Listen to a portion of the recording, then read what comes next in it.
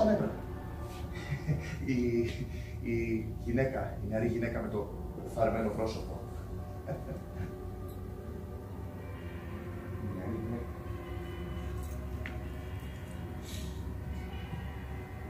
Συμβαίνει κάτι; Έχετε χρονιάσει.